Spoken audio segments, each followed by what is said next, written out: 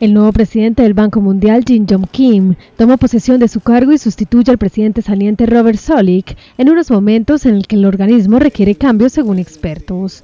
El nuevo presidente del Banco Mundial destacó que la economía mundial se encuentra en un momento fundamental y reiteró su compromiso de servir a los más pobres desde la más importante institución de desarrollo global.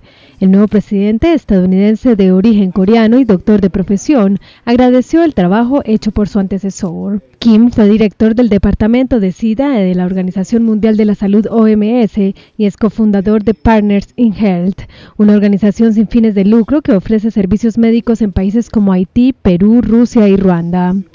Kim, de 52 años, inicia ahora su mandato de cinco años al frente del Banco Mundial, una institución que entregó el año pasado más de 53 mil millones de dólares en préstamos.